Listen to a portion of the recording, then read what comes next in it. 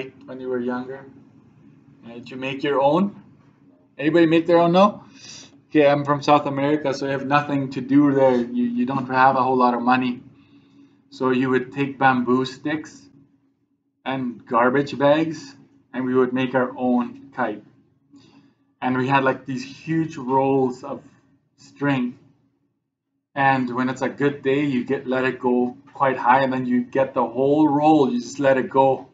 And this thing is honestly, I kid you not, like it's a fingernail. Like you can cover it up with your fingernail that's how high up we let it go.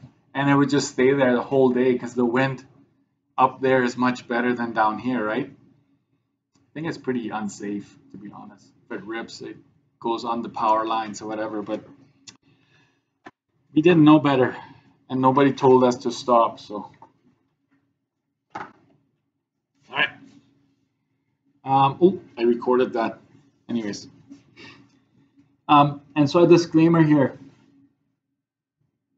I, I didn't use the software to make my kites, these ones. So sometimes you're gonna you're gonna be like, oh, Mr. Erickson, you're doing it that way, but I'm seeing I can see me doing it a different way, and it's not gonna match up perfectly.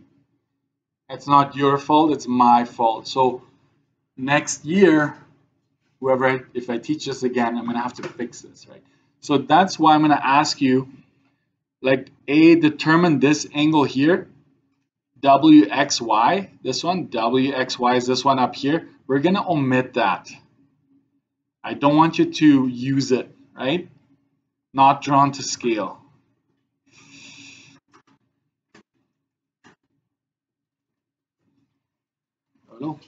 Page 33. Um, not drawn to scale, so you can go minus 2, Mr. Doerksen. You always like to give me minus 2. I'll give you minus 2, Mr. Doerksen. How you like that, right? So you do that. Yeah, Mr. Doerksen made a mistake, right? Anyways, let's keep going.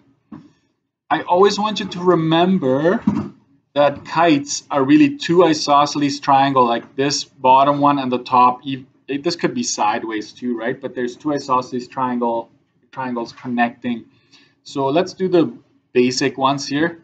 If I asked you what's the value of Wx, this, you should know this is two centimeters, right? Wx is just the stretch between the two letters, that's two centimeters. Okay. We also know this, right? If this is 101, and right, you just saw me construct this thing, what do we know about this one? It's also 101. So we're going to put down 101 So without even answering anything else, I just figured that out, right? Page 33 here. Okay, let's keep going.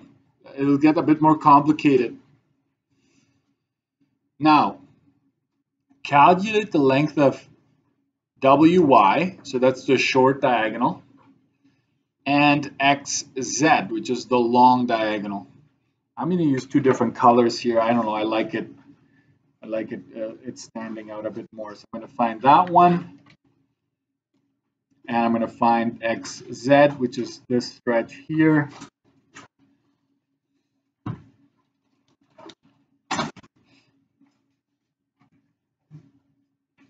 Thirty-three. How would I do that? Remember triangles? Trig, that's why I do trig before geometry. So you look up and look down, right? So I'm going to use, I'm going to bring this 58 with me. Watch, right? This is 58 here. This is 3. And this is 3. Okay? I'm bringing that all up from the kite upstairs here. And yes, Mr. Doerksen, what if I, technically I should be able to use the top and figure this length, yes. But I, I checked it and these numbers, if you use the top one, it doesn't match because of that's my fault, right? Because the two should have been, this number should have been different for it to work. So don't worry about it. I'll never, I'll make sure on the test it all works out, okay? But uh, in this case, let's just use what we're given So this is an SAS, right? Side angle side here. I'm going to call this lowercase z, right? So we have everything we need to use cosine law there. So it's, a, it's perfect to review that, right? Do you remember how to use the cosine law? That is the question. Z squared is equal to mm -hmm, 2 times 3. Yeah. Yes. Cosine of 58, that's right. Okay, so we use that one angle that we're given. You can't use the 101 here because it's on the side is the whole thing, right? It doesn't make sense here. So that's the short diagonal, right? We're finding the shorter one according to the diagram. So if we if you type that in, you get 8.46, right? 46, so forth. And so we figure that out, and that's two. We can round to two decimals because that's what they're asking us for, right? They're not asking for something beyond it. So at that point, we just round to two decimals. And there it is. Figured that out. And you'll know why I'm asking to solve these because it's going to help us find the area of, the, of this kite. Then there's this one, the longer one here. You got to go up again to the original. Um, I guess this 101 is given, right? So why not use that one? The 101 this is 2. This is 3. Okay. SAS. This is lowercase w, right?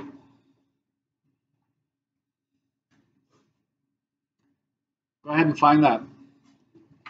Calculate W. See if you get what I... Okay, so here we go. Same, it's same as this, it's just different triangle, right? So W squared is 2 squared plus 3 squared minus 2 times 2 times 3 times cosine of 101.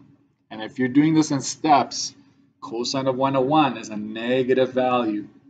This negative meets that negative, turning this whole expression positive. So, but if you have a good calculator and just type it in all in one shot, you have nothing to worry about. Okay, so 15.289 and it keeps going. So W is 3.91 centimeters if you take the root. Okay. This is the short diagonal. Diagonal long diagonal.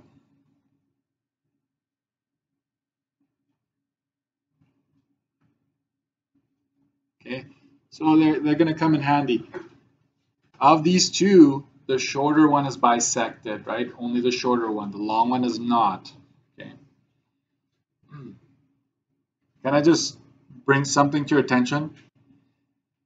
If you bring this in in such a way that the orange one is also bisected, then you actually have a rhombus. Okay, so if you bring this tail in so that all four sides are the same, then you have a rhombus. Then it's no longer a kite, right? So you've got to watch out. Let's go to the back side here. Did I use green for the short diagonal? Yeah, green and orange. I'm going to use that again.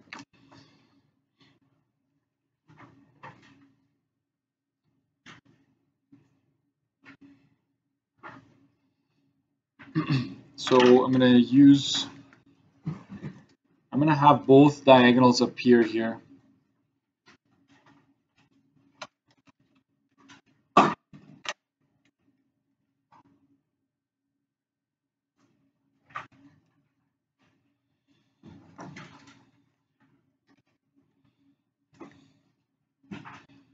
We know that they meet at a 90, we know that the shorter one will be bisected.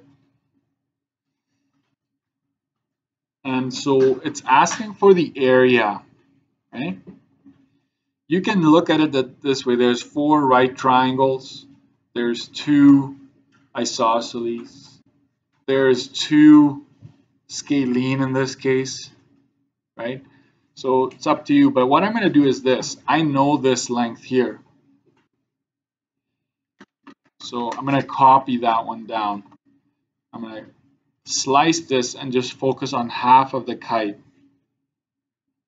That's why I left a lot of room there.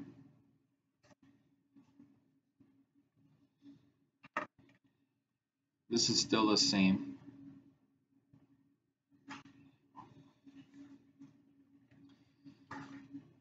And uh, if you recall from the previous page, this one measured two centimeters, right? This one measured three centimeters. This one I found, and that was 3.91, right?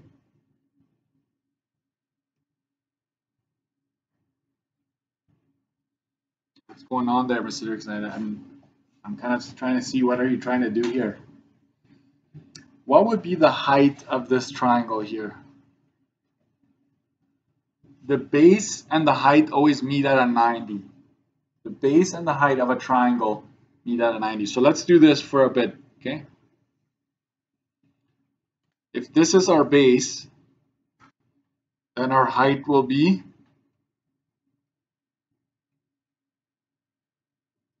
this is the height, right? This is the base.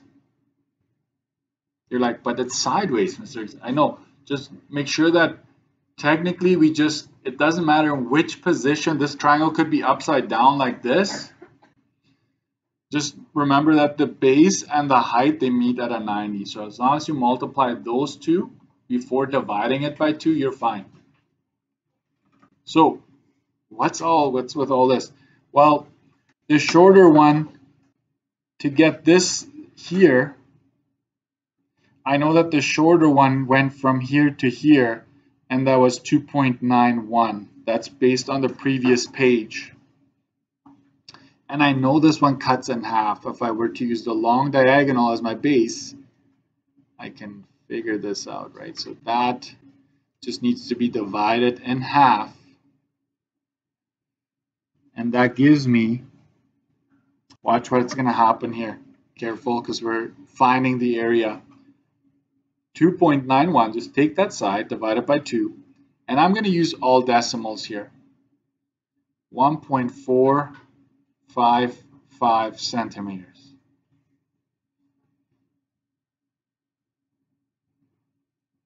I will give you a shortcut after this, but I just need you to understand. So the area of this triangle that we just cut out would be base times the height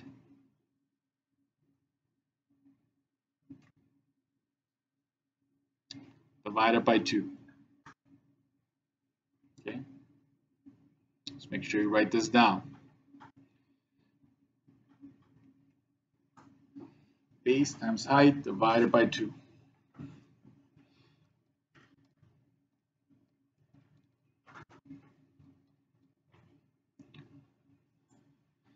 That gives you 2.8445 and so forth. This would be centimeters squared, right? So that's the area of just half of the kite. So we have to multiply this by 2. So the area of the kite, right, is 2 times that, which is 5.69 centimeters squared. There it is. That's the area of your kite. And uh, lucky for you, I'm gonna I'm gonna give you a shortcut after this. It's much quicker. You can just use a formula and just figure it out just like that.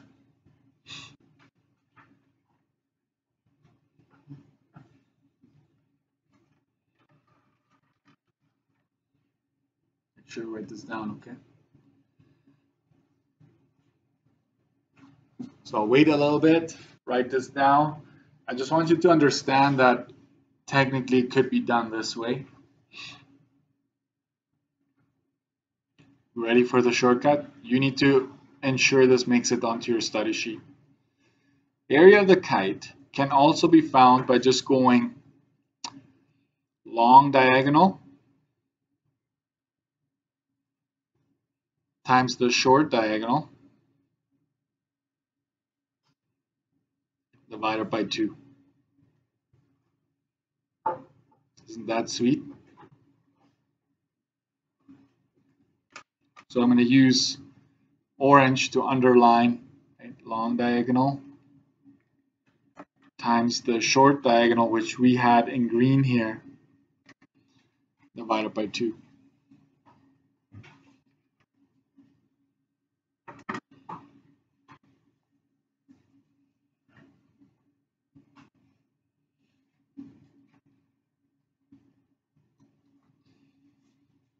Let's try that. 3.91 times 2.91, right, divided by 2. You get the exact same answer as over here. So from now on, just use this one. Just find both diagonals, multiply them, divide it by 2, you're there. In fact, can I ask you to, at the top of this page, just write down finding the area of a kite nice and big like we're gonna make sure it stands out. Okay. Um, calculating the area of a kite. Okay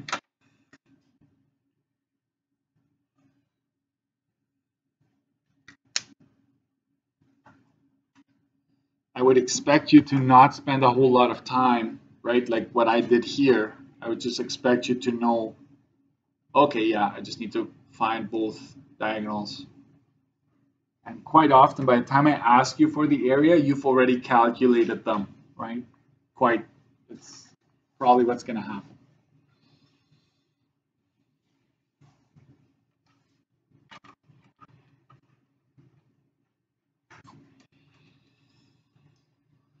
Let's keep going. I will ask you to try. It's not going to be copy paste. It's not. You're going to have to kind of read and see how it goes, right? So let's go to page 35 and 36. It's uh, it's basically this this one big question. Okay. Can you go with me to 35? I'll just explain this to you. I'm not going to lie, sometimes you're going to be a bit stuck or not sure, but the only way to know whether or not you're getting it is by trying it, correct? You won't know for sure if you're not trying. So watch this. Quadrilateral below, you should recognize it as a kite. There's a diagonal, AC is 10 meters. Do you see that? Very important. So it's basically they're giving you that stretch. And we know something about that diagonal, right? It gets cut in half. So what does that mean? If this is 10, then you can confidently go in there and say, well, it's easy to do. It's just 5 and 5, right? And you have four right triangles in there. So uh, A is just tell me what side Y and Z is. That should be very easy. No math there, just state it. And then calculate the values of X and P. So they want just this stretch here as well as this stretch here. You're going to have to use Pythagorean theorem for that.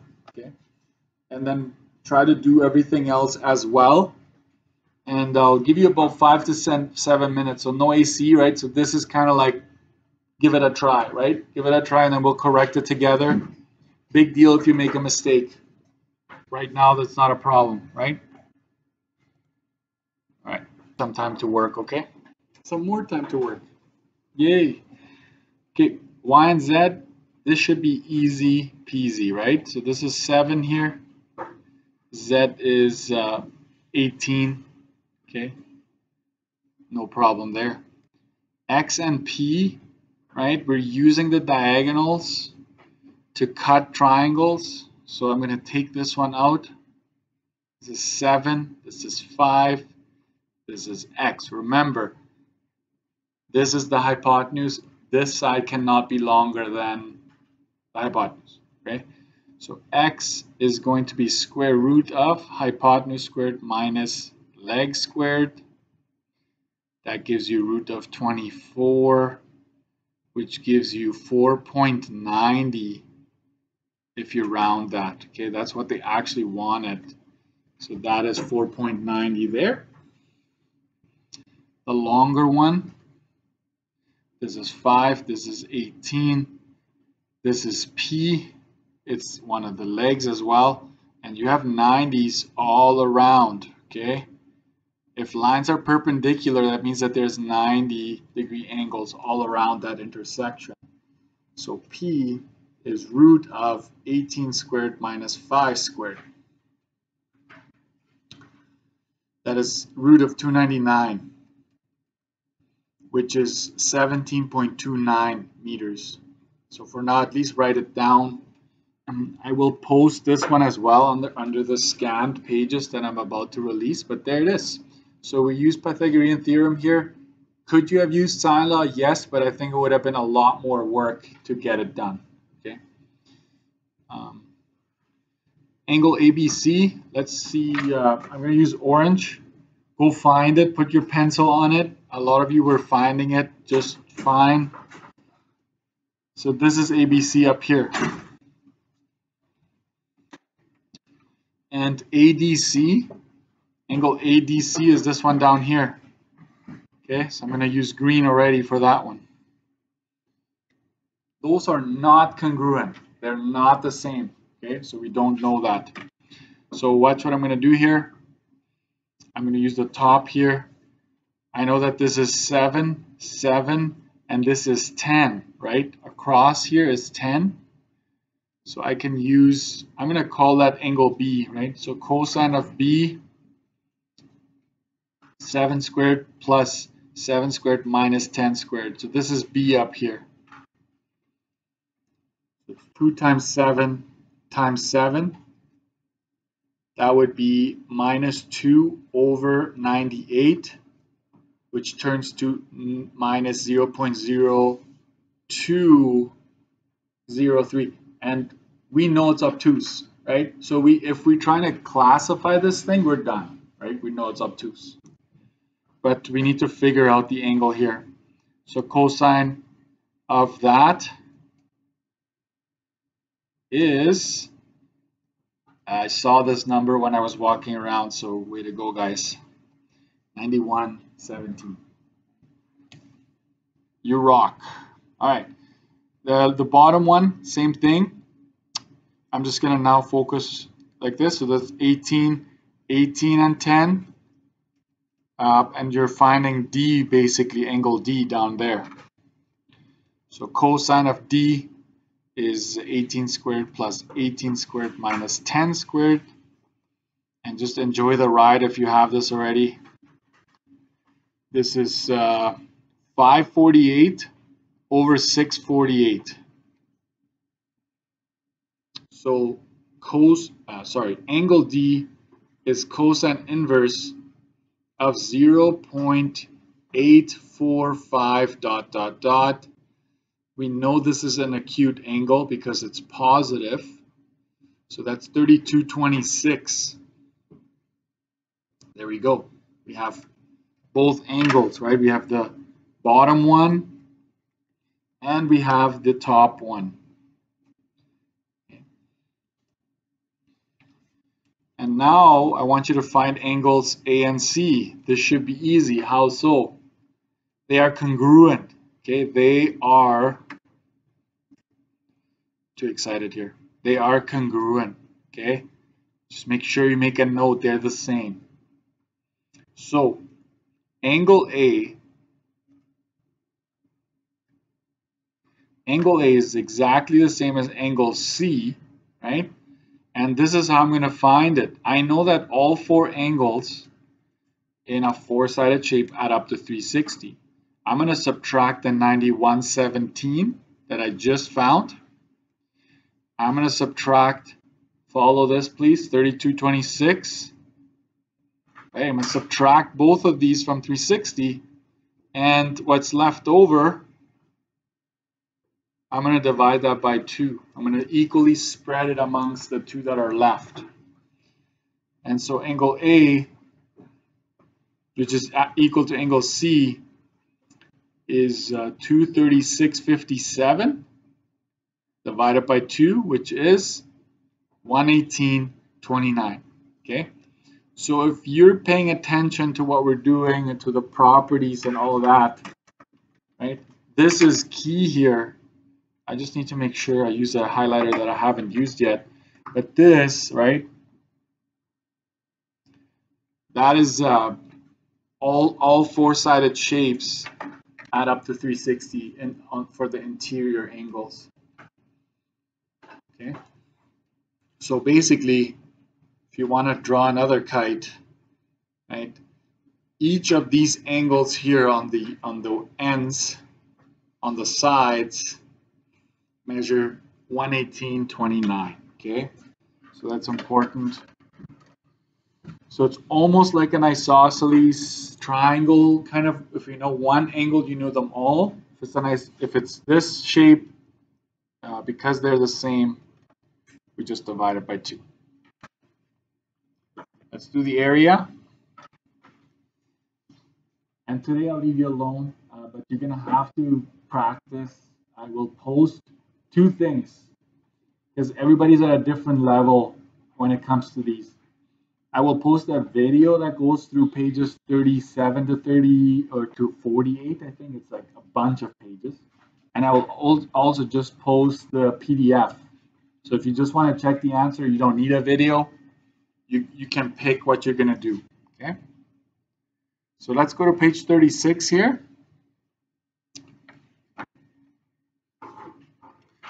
Calculate the area of a kite.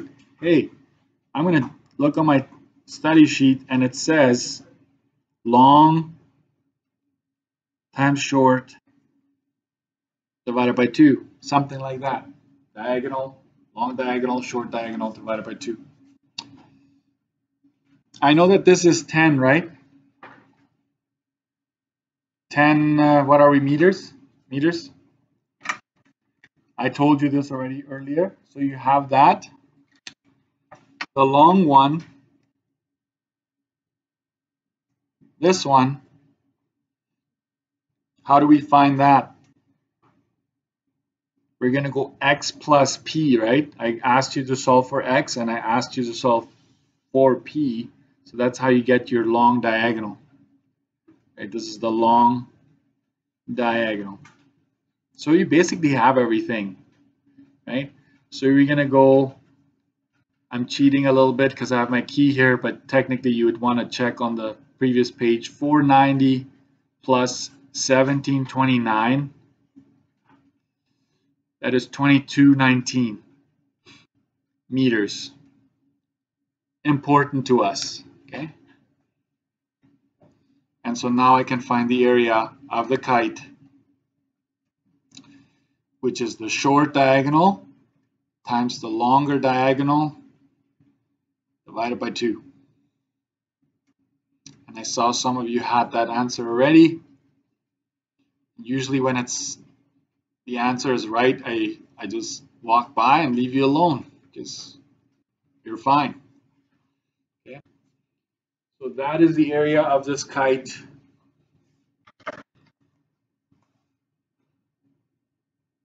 And so this is work, today we focus a little bit more on kites, but we're still working with trapezoids. We're still working with the other shapes, all right?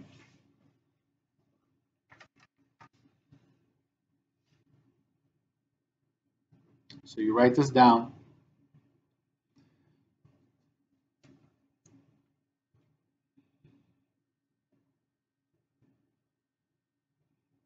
Um, I'm going to color code it here. I could sugar coat it, but I don't have any sugar.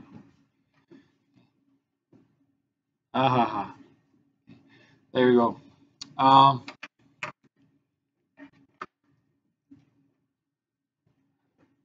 and so here I'm going to give you, like tomorrow I'm going to focus a little bit. I'm going to give you an AC on this kind of stuff, trapezoids, kites. So we're going to do that. But then I'm going to start talking polygons.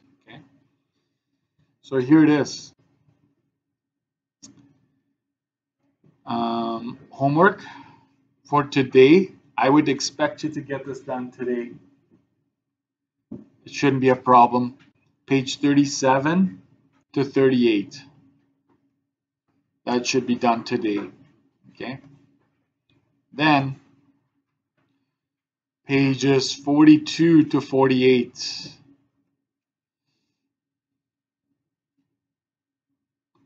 Do it at home or your own time, okay? It's a bit of crunch time because uh, the two short weeks, I mentioned that already. Pages 42 to 48, just so you know, you're to classify some triangles. You're to have trapezoids, you're to have kites, you're to have everything, okay? And just remember that. Key is posted. Well, sorry, I still have to click publish, right?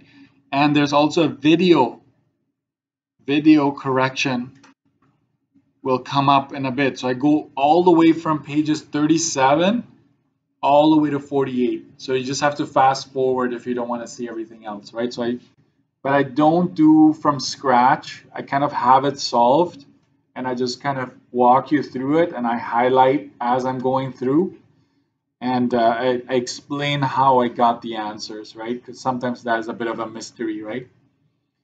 So uh, that's it for today. So just be ready for tomorrow. If you if you work through this and you have a question, ask, okay? Thank you.